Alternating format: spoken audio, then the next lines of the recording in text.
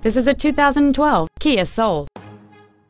It features a 2.0-liter four-cylinder engine and a six-speed manual transmission. Features include satellite radio, a low tire pressure indicator, traction control and stability control systems, a leather-wrapped shift knob, front side impact airbags, three-point rear seat belts, rear seat child-proof door locks, air conditioning, a split folding rear seat, and this vehicle has fewer than 31,000 miles on the odometer. With an EPA estimated rating of 28 miles per gallon on the highway, this vehicle does not compromise its fuel efficiency for size, comfort, or fun. Please call us today for more information on this great vehicle.